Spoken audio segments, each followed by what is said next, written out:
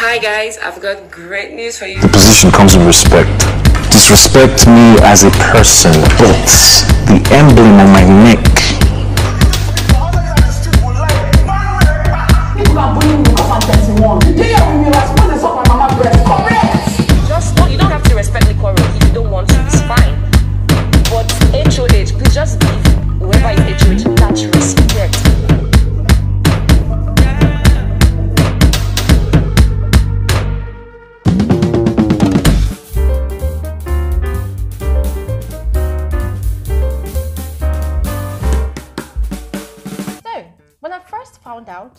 That the Big Brother Your Eye reunion was in its filming stage, guys, I was super excited. And to be very frank with you all, I had so many questions, I had so many expectations. I literally had to go ahead and create a video, you know, of my expectations directed at Ebuka mhm, on the kind of questions to ask the housemates because of the things that we had seen um, whilst the show was still on. And yes, guys, I did that video out of so much excitement. But much later, um, after I heard that the filming of the reunion had ended in just two weeks, guys, reality kicked in, yes, and the realization dawned on me that, hey, Glory, this is the reunion and we know what happens during the reunion. There's a lot of edits there's a lot of cut and paste there's a lot of um, omission of information there's a lot of your expectations just being washed down the drain you know simply because you not brace yourself up to the reality that hey it is not every single thing that you expect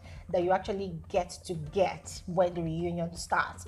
And so i thought okay why not go ahead and do a video on tips on what not to expect from the reunion because to be very frank with you all it is not everything that we expect that we are actually going to see. So um, on this video that is what i'm going to be doing exactly. But before i start let me first of all welcome all of you back to my youtube channel. Officially you are welcome. My name is glory elijah. This is frankly speaking with glory. I am the girl with the tea. That said, let's quickly get into the video. But first off, it's quite interesting when for every season of the Big Brother Naija reunion show, we find a lot of people online who keep on directing questions at Ebuka whilst the reunion is being aired on TV. So people are like, oh Ebuka, that question you asked this particular housemate yesterday, ah, tomorrow, please ask the housemate this other question, right? I find it quite interesting and partially hilarious because even though we know that the show is pre-recorded, a lot of people still do not know that the show is actually pre-recorded, right? What does that mean?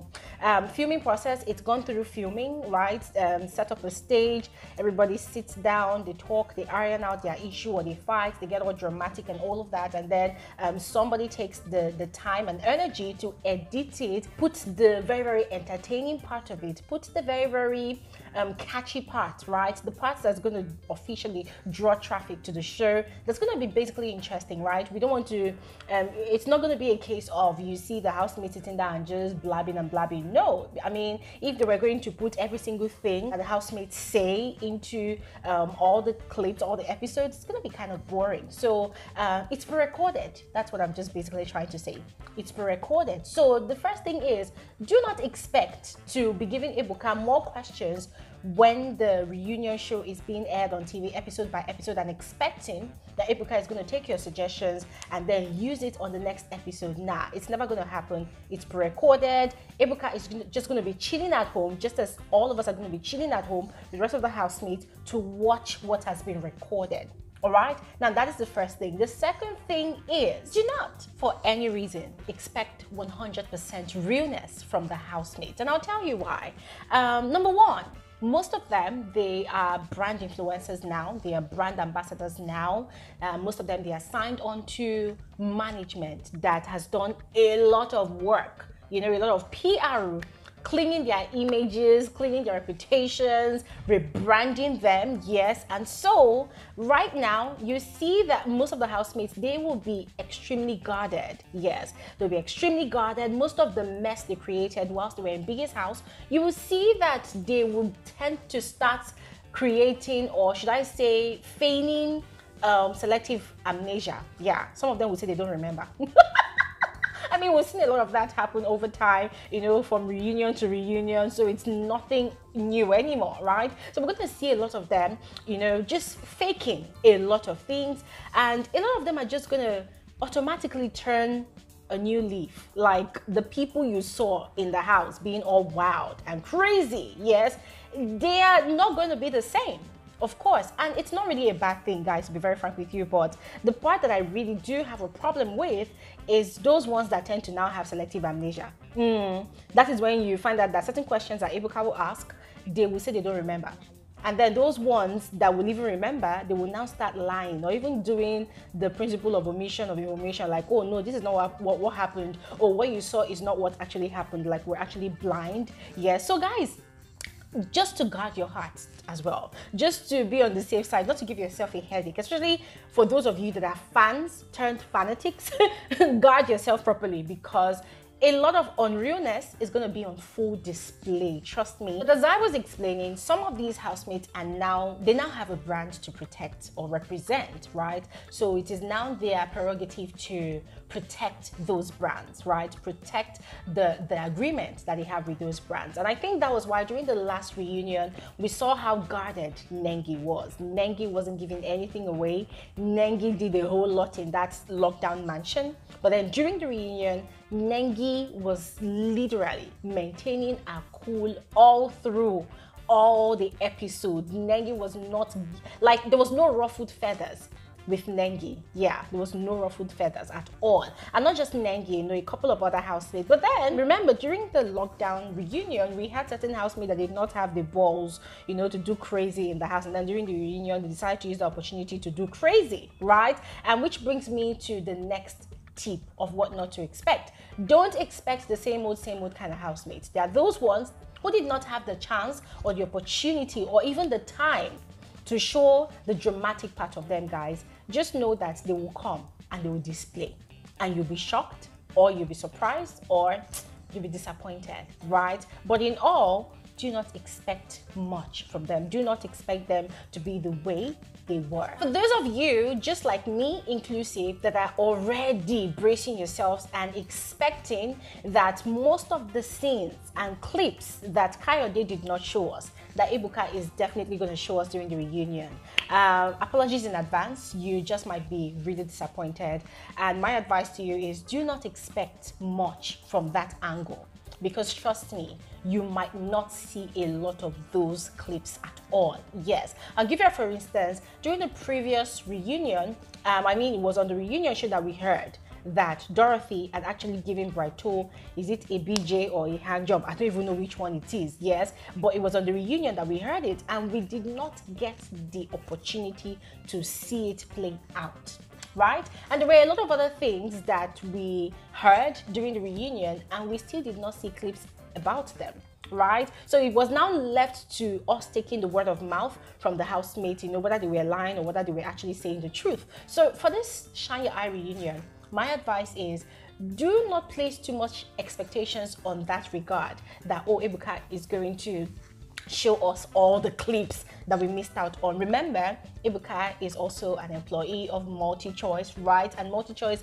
has to abide by certain rules from NBC and all whatnot. I mean, they can also choose to indulge us or not to indulge us. So the advice is do not expect too much, all right? Whatever you see, you take. Remember, the show is pre-recorded. Okay, so this one is gonna crack you all up and hey, it's all based off of what I saw on Twitter, right? So someone was literally stating that or tweeting that they were expecting that during the reunion, um, those housemates that have actually received Benz as gifts from their fans are going to come up front and tell us, you know, who those fans are, or just basically just reveal the information. I mean, I was just over here, I was just cracking up. I'm like, eh, seriously, eh? So in your mind, you actually do believe that these housemates they're going to come up front and provide that kind of detailed information. Ladies and gentlemen, my advice: don't expect anything because it's never going to happen. Mm, you and I know it's never gonna happen. And as for those invisible fans, if you know, you know. Eh? If you don't know, forget about it. Last but not the least, do not, for any reason, expect Ebuka to probe deeply, deeper than you expect. Yes, guys, the reason for that is sometimes it's not up to Ebuka how the show should go. Just know that Ebuka is not 100% the only person running the show, all right?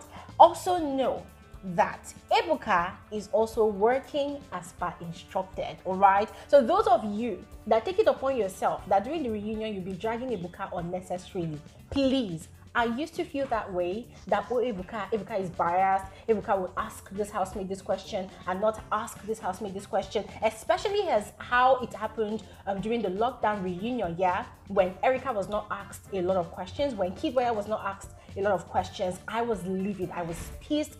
In my head, I was just thinking that okay, fine. Who is actually, you know, paying the piper or dictating the tune? Now, what the hell is going on? But then, over time, I know I watched um, some of Ebuka's interviews, and from some of the things he said about not being the one calling the shots, you know, it kind of piped down my anger. That okay, fine, this dude is just doing his job, right? He's just doing what he's directed to do. So for those of you that take it upon yourself to go and wage war against Ebuka's wife and kids, please slow your roll. Calm down. As I said at the start of this video, if you do not expect too much, then you will not be overly disappointed, all right?